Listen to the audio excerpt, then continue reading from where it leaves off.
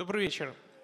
Впервые я попал на курилку Гутенберга в ноябре 2016 года. И первой темой, которую я услышал, была лекция по культурологии про метамодернизм. И я подумал, я тоже кое-что знаю про мета, в частности, про метаматериалы. Я занимался ими в Датском техническом университете 7 лет как ученый. И вот о них, собственно, сегодня и поговорим. Но прежде всего я, я хотел бы вас спросить, нужны ли нам новые материалы, как вы считаете? Я вижу, некоторые кивают. А зачем нам нужны новые материалы?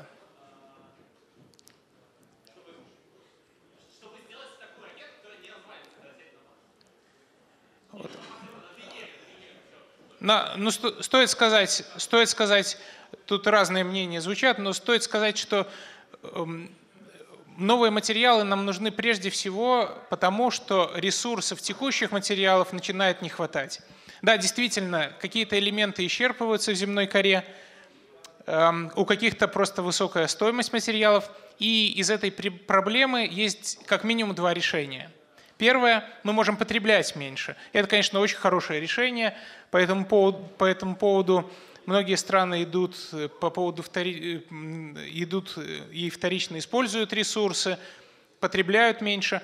Однако, учитывая, что количество людей растет и аппетиты тоже растут, этот вариант имеет ограниченные перспективы.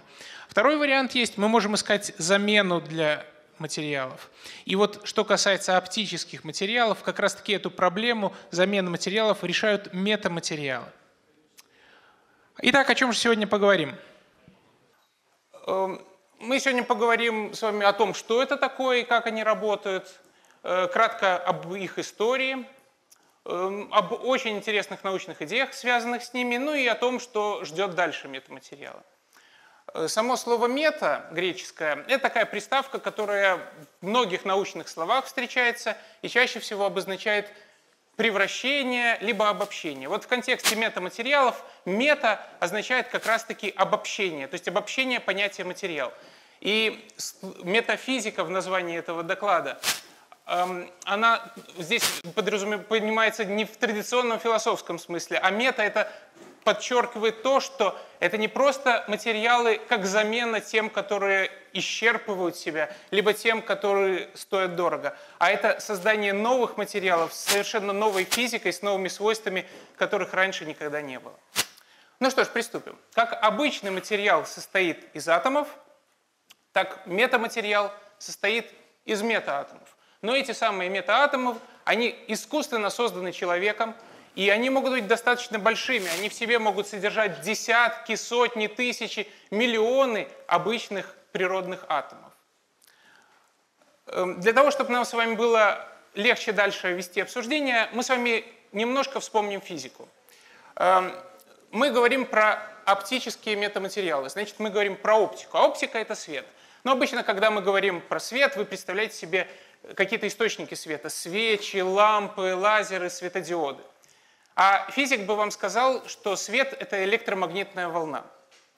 Эм, что такое электромагнитная волна? Ну, сейчас мы с вами займемся немного физической активностью, насколько это позволяет сидение на местах. Эм, попробуйте сделать правой рукой вот такое волнообразное движение в вертикальной плоскости. Вертикальной плоскости. Вот это у нас будет электрическое поле. Электрическое поле. А левой рукой волнообразное движение в горизонтальной плоскости –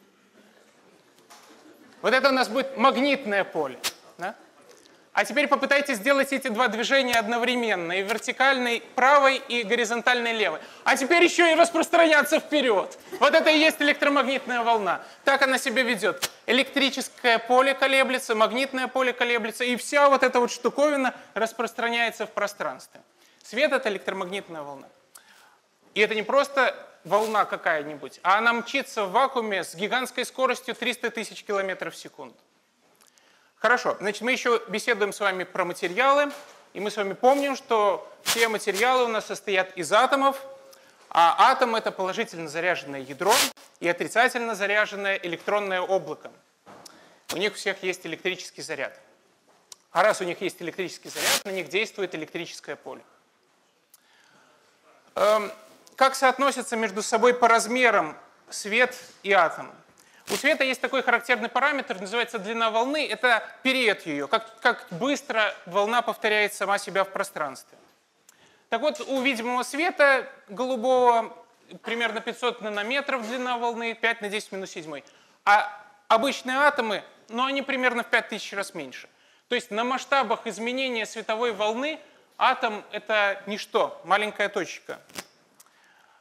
Для того, чтобы нам с вами обсудить, как взаимодействуют между собой свет и атом, мы обратимся к аналогии с морскими волнами. И в этой аналогии свет, электромагнитная волна, она аналогична морской волне, а атом аналогичен маленькому поплавку. Маленькому поплавку.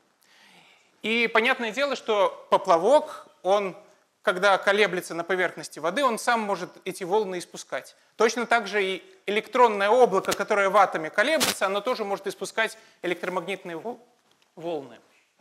Эм, так вот, когда свет взаимодействует с атомом, то электронное облако, оно в электрическом поле притягивается в одну сторону, движется, а положительно заряженное ядро в другую сторону. И вот так вот это самое электронное облако в световой волне движется. Точно так же, как маленький поплавок движется вверх и вниз, когда проходит большая морская волна.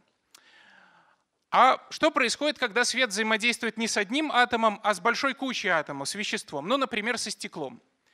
Вот изначально из вакуума врывается такая вот маленькая световая волна, короткая, врывается в вещество. Все атомы спокойные, у них там все улеглось, никакие электронные облака нигде не колеблются.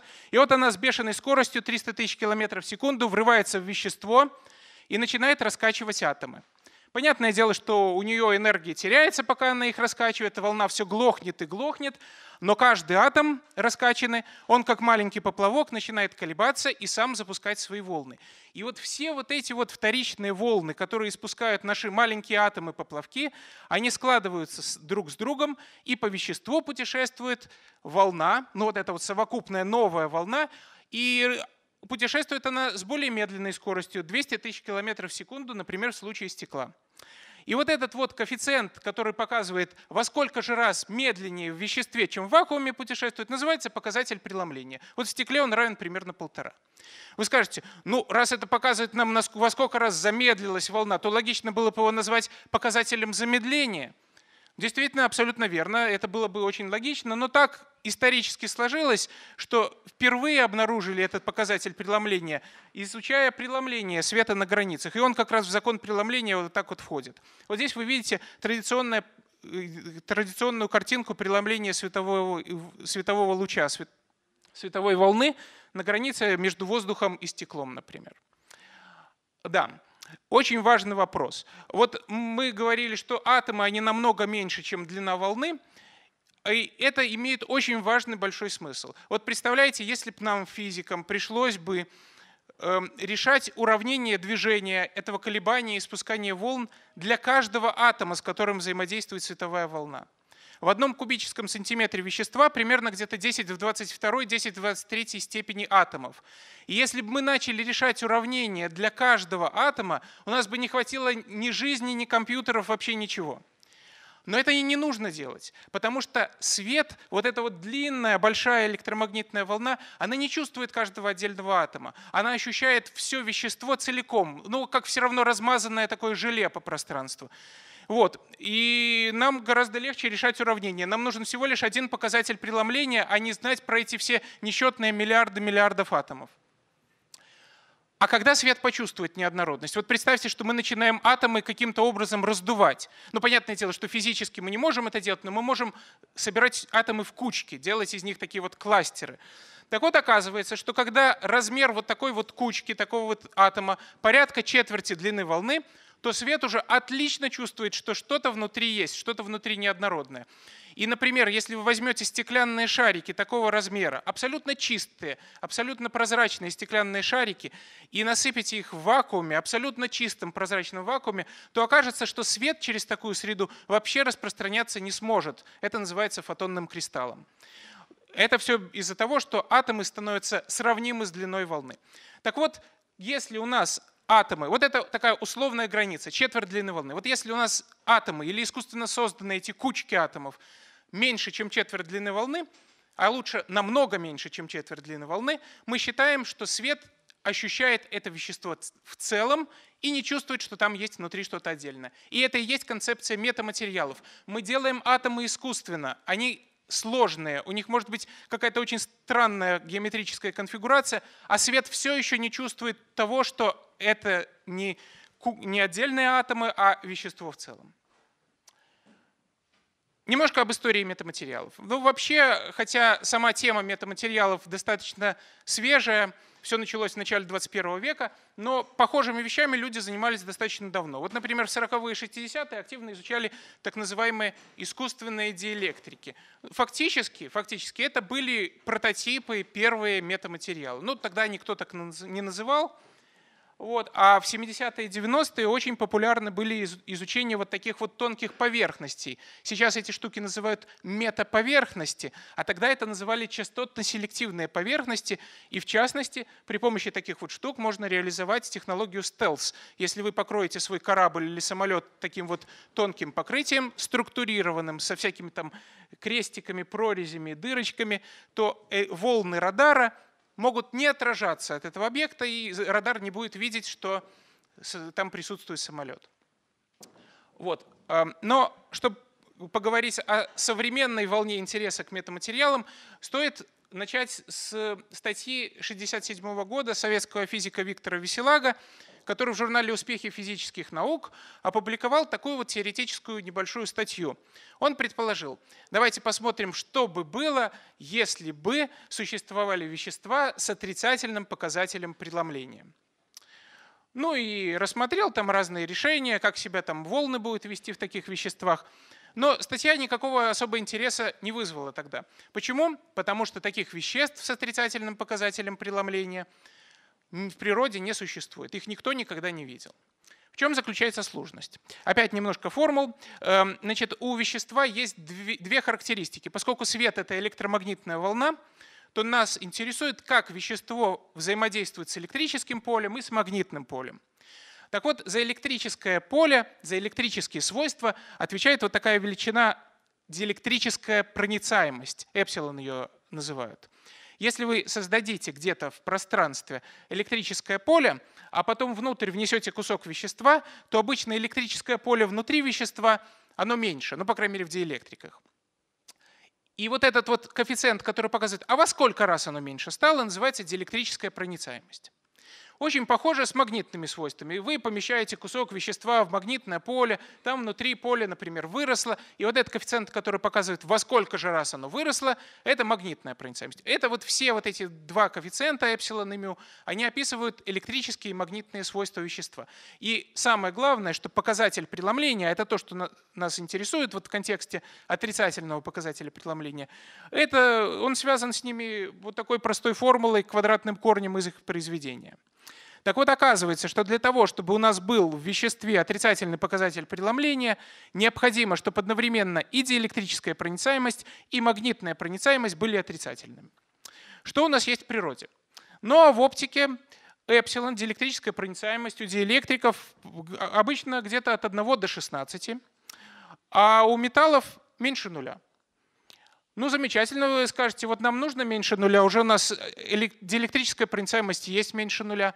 Но проблема в том, что практически никакие вещества, практически никаких магнитных свойств в оптическом диапазоне не проявляют. И μ практически строго равно единице. Но в результате имеем показатель преломления от 1 до 4, и у металлов отрицательный эпсилон. Все, все, что есть.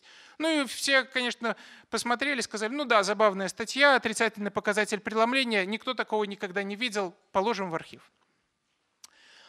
А в 1999 году Джон Пендри в Великобритании, он предложил метаматериал, собранный из вот таких вот цилиндриков с прорезью боковой, или, если сбоку смотреть, вот таких колечек с прорезью, и показал, что вот в такой вот штуковине, если мы таких цилиндров много насобираем, то тут может возникнуть отрицательные магнитные свойства отрицательная магнитная проницаемость. Это связано с тем, что в таких вот штуках, как в резонансном контуре, можно возбуждать очень сильный резонанс, и вот вблизи этого резонанса где-то отрицательная мю и будет. И это был просто взрыв. Тут же в Соединенных Штатах Дэвид Смит говорит, о, ребята, мы получили наконец отрицательный магнетизм, а давайте мы сейчас совместим вот эти вот кусочки, которые дают нам отрицательные магнитные свойства, с металлической сеткой. Ну, это почти то же самое, что металл, но только разбавленный чуть-чуть металл. С металлической сеткой с отрицательным эпсилон, и получим отрицательный показатель преломления. Вот что-то вроде такого. Они сначала публикуют теоретическую статью, тут же быстро изготавливают эту штуковину, проверяют, да, действительно отрицательный показатель преломления есть. И это было начало метаматериального бума. Это стало очень модным направлением, туда хлынула куча людей, денег, новые идеи. Вот. И больше всего вдохновило ученых не только то, что мы можем отрицательный показатель преломления получить, но и то, что мы можем инженерным способом создавая разные вот эти вот маленькие структурки, метаатомы, мы можем получать в принципе любые значения для диэлектрической, магнитной проницаемости, для показателя преломления, любые оптические свойства. Какие интересные идеи из этого выросли? А, вот здесь вы можете видеть, какое разнообразие вообще различных метаматериалов было предложено. И это только небольшой перечень. Это и разные сетки, и какие-то подковки, спиральки, э, колечки, дырочки, шарики. Ну, в общем, много всего с совершенно экзотическими свойствами. Вот. А какие интересные эффекты? Вот смотрите, вот это то, как происходит традиционно преломление, если свет падает из положительного вещества в положительное вещество. А если у нас тут отрицательный показатель преломления, то мы должны поменять знак в законе, у нас будет другой знак в законе преломления, и свет будет преломляться в другую сторону. Ну и, например, если традиционная призма преломляет лучи вот таким вот образом, то в призме с отрицательным показателем преломления лучи будут преломляться в другую сторону. Соломинка в стакане с водой обычно выглядит вот таким образом, а вот если бы у нас была не вода, а, а жидкость с отрицательным показателем преломления, то это выглядело бы примерно вот так. Ну, забавно, но не более того. Интереснее становится, когда мы рассматриваем слой такого вещества, просто плоский слой вещества. Вот если у вас лучи выходят из какой-то точки, например, маленький светящийся объект, и дальше путешествуют. Когда они проходят через слой с положительным показателем преломления, они сначала расходятся, потом чуть меньше расходятся, потом расходятся дальше. Ну, собственно, ничего интересного не происходит. Но совсем другое дело, если мы возьмем с вами слой с отрицательным показателем преломления – Лучи расходятся в разные стороны, но на границе они по закону преломления обязаны испытать преломление в противоположную сторону, и внутри материала они сходятся опять в точку. Как говорят оптики, в фокус. Они начинают расходиться дальше, доходят до другой границы, ну и опять нужно преломиться, и опять по закону преломления в обратную сторону, и они с другой стороны опять сходятся в точку. Получается, что вот такой обычный плоско-параллельный слой – работает как линза, да не просто как линза, а линза, в которой лучи сходятся два раза в фокусе, внутри и снаружи.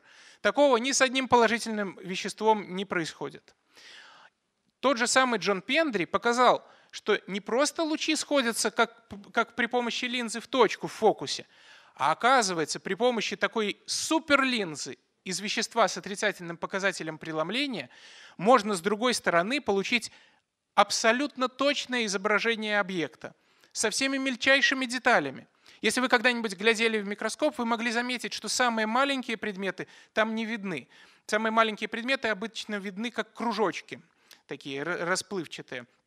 А вот получается, что э, если бы у нас был линза, суперлинза из отрицательного показателя преломления, то мы могли полностью, абсолютно четко передать картинку с другой стороны. Ну, на практике не все так хорошо получилось. Эти самые вещества с отрицательным показателем преломления оказалось очень сложно изготовить, а если даже изготовили, то там еще куча всяких физических ограничений. Ну, ничего, в общем, толком не получилось с суперлинзой. Зато пока ее искали, набрели на другую концепцию, так называемой гиперлинзы. Ну, гипер она называется не потому, что она лучше, чем супер, а потому что она сделана из веществ с так называемой гиперболической дисперсией. Ну, на практике это обычно такие тоненькие слои. Металл-диэлектрик, металл-диэлектрик или тоненькие проводки. Так вот, оказалось, что такая вот гиперлинза, она два близких объекта маленьких, она не просто может передать на другую сторону, как суперлинза, а она их может еще увеличить, А дальше мы уже можем подхватить изображение обычными традиционными микроскопами. И вот эта штука экспериментально работает отлично. Вот, и возможно, что будут такие специальные приставки для микроскопов, которые, вот эти гиперприставки для микроскопов, которые улучшают их. Еще один раздел, который возник на границе между метаматериалами, оптикой и а, общей теорией относительности. Идея очень интересная, так называемая трансформационная оптика. В пустом пространстве, в вакууме, свет распространяется по прямым линиям, световые лучи. Э, это кратчайший путь. Свет распространяется по кратчайшему пути. Если мы с вами изогнули бы пространство в геометрическом смысле, то свет тоже старается распространяться по наикратчайшим линиям, однако в изогнутом пространстве они для внешнего наблюдателя выглядят как изогнутые линии. А теперь вы говорите, ага, замечательно. Я знаю, как я хочу, чтобы свет распространялся. Вот, например, по такой изогнутой траектории.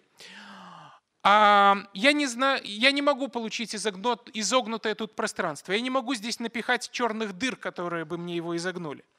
Но зато я могу неоднородно распределить свои электрические и магнитные свойства в веществе. И используя математику теории относительности, по, по формулам легко посчитать, как необходимо распределить электрические и магнитные свойства для того, чтобы лучи в обычном неизогнутом пространстве двигались по тем изогнутым траекториям, которые вы хотите. Вот такая вот идея. И если вы видели когда-нибудь в популярных новостях, ученые изобрели плащ-невидимки, как раз таки об этом. Вы, например, хотите спрятать какой-то объект – и вы говорите, ага, я его окружу вокруг такой вот шубой из метаматериала и распределю там электрические и магнитные свойства так, чтобы лучи, которые идут, они его огибали со всех сторон и выходили с другой стороны, не врезаясь в объект. А раз не врезаются, то никто снаружи и не заметит, что вы что-то спрятали там. Это, конечно, картинка фейк, это не настоящая. Вот. Но сама концепция интересна, какие-то прототипы показывали и теоретически, и экспериментально. Однако оказалось, что гораздо легче и удобнее создавать не плащ-невидимку, а коврик-невидимку. Идея такая, если у вас есть зеркало, на, ней, на нем лежит объект, вы его освещаете, он в разные стороны свет рассеивает. А вот вы теперь говорите, а давайте-ка мы его накроем таким вот ковриком из метаматериала, и свет, входящий вот в этот коврик, изогнется и выйдет с другой стороны так, как будто ни вот, это, ни вот этого спрятанного объекта, ни самой вот этого вот коврика, как будто его нет. И внешний наблюдатель ничего не увидит, увидит просто зеркало. Ну, вы мне скажете, конечно, ну, здравствуйте вам, как будто мы очень часто хотим спрятать какой-то объект на зеркале. В оптике может быть, но оказывается, что для радиоволн, для радаров обычная мокрая земля – замечательное зеркало. Если вы хотите спрятать танк, например, то это замечательный способ накрыть его сверху таким вот ковриком-невидимкой. Что еще? Ах, да мало того, матери... метаматериалы позволяют нам не просто коврики-невидимки создавать, они нам позволяют создавать голограммы. Если вы свою, например, боевую подводную лодку накроете такой вот шубой, щитом из метаматериала, то пролетающий сверху самолет и его радар увидят не боевую подводную лодку, а вот такую совершенно безобидную, добрую желтую подводную. Вот такие вот, и это только небольшой перечень того, что позволяют делать метаматериалы. Но что же касается метаматериалов в реальной жизни? Эм, ну, с точки зрения науки, у метаматериалов была очень хорошая такая мета-роль. Они объединили в себе ученых из разных областей. Получилось очень интересно. Хотя люди из оптики и из радиоволн, они занимаются очень похожими вещами. Они решают одни и те же уравнения. Однако так исторически получилось, что они не очень дружат между собой. Они изобрели разные языки. Одни говорят про какие-то емкости индуктивности, другие говорят про там, волны лучи. Эм, и даже мнимую единицу в своих уравнениях одни называют и, а вторые называют минус j. Минус j. Так вот, они объединились в общем порыве в метаматериалах. Они научились находить общий язык, стали понимать друг друга. Эм, ну и кроме того, надо же это все изготавливать. Помните, я вам говорил, длина волны световая 500 нанометров. А для метаматериалов метаатомы должны быть меньше, чем четверть длины волны. Ну, скажем, 100 нанометров. Тут уж никак без нанотехнологий. Сразу тут подключились люди из материаловедения, из микро- и нанофабрикации. Ну, такая, в общем, очень, очень объемная отрасль получилась, которая объединяет в себе, интегрирует разные, разные науки. Кстати, метаматериалами и в Беларуси занимаются, насколько мне известно, в Минске, в БГУ и в Академии наук, и в Гомеле. Что же вы мне скажете? Ну, замечательно, эти все научные идеи, это там все хорошо. А что до реальной жизни-то? Польза-то есть хоть какая? Начали появляться фирмы, компании э, пару лет назад, которые производят что-то полезное с метаматериалами. Вот одна компания, например, MTI, Metamaterial Technologies Incorporated. Они делают фильтры при помощи метаматериалов. Фильтр — это какая-то штуковина, которая часть длин волн, например, там красный и синий, пропускает, а какие-то волны не пропускает, ну, например, зеленые, отражает их назад. Для чего это может быть полезно? Ну, вообще, фильтры-то оптические, их изготавливали достаточно давно. Любая стекляшка цветная — это фильтр своего рода. Но обычно фильтры, они дорогие или тяжелые, а вот с метаматериалами их можно делать тоненькими очень. Все вы, наверное, слыхали эти трагические истории о том, как ослепляют пилотов самолетов при помощи мощных лазерных указок. Да, действительно, мощные указки сейчас в свободном доступе, практически каждый может их купить. Вот. И как бы было бы здорово, чтобы такое предотвращать, покрыть стекло самолета покрытием, которое бы все пропускало, ну, кроме вот этой вот зеленого света этих лазерных указок. И вот MTI как раз-таки такую штуку и делают, разрабатывают, у них уже есть хорошо, хорошо работающие прототипы. Вы практически все видите через эту пленку, но она не пропускает зеленый свет именно лазера, именно на той длине волны, который, которую указки создают. Еще один пример. Несколько компаний занимаются компактными перестраиваемыми антеннами и радарами. Ну вот представьте, что у вас есть такое вот устройство размером со смартфон. Вы его к своему смартфону подключаете и быстро сканируете, нет ли вокруг каких-то затаившихся дронов, которые сидят в кронах деревьях и, вас подс... и за вами подсматривают. Ну вот такое применение может быть. Еще Глюковайс разрабатывают с метаматериалами маленькие неинвазивные глюкометры. Если вы слыхали про сахарный диабет, вы, наверное, знаете, что приходится контролировать уровень сахара в крови несколько раз в день больным. А вот это был, был бы неинвазивный глюкометр, и не нужно было бы дырявить свою кожу. Можно было бы вот так. И они обещают первый прототип в 2018 году. Есть еще другие идеи, как, что можно сделать с помощью метаматериалов. Обещают, что светодиоды будут светить ярче, солнечные батареи будут работать эффективнее, а голограммы для ценных бумаг будут надежней.